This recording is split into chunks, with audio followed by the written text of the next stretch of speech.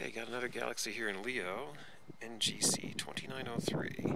It's, kind of a face-on spiral galaxy. Can't see too much of the face-on spirals in this video. I took a still and uh, had it in about two seconds. This is uh, 13th of a second shutter, 3200 ISO. A little hard to get it, but you can see a little bit of structure in it. She's almost straight up in the sky. In fact, I'd say it's practically, it is on the meridian for all intents and so it doesn't get any better than this. February 1st, crystal clear night, Mount Pinos, California. It's about the best you're going to get for sky conditions. Magnitude 8.9, did I say that already? And uh, I can around a little just to prove I got a real-time video of a galaxy.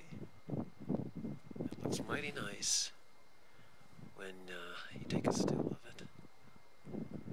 It's kind of cool looking galaxy, NGC 2903 in Leo. Kind of like that one. Uh, just trying to get it where I want to have it centered again, right about there. So, there you have it.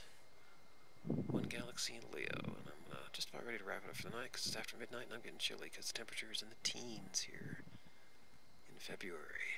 Okay, NGC 2903, Leo.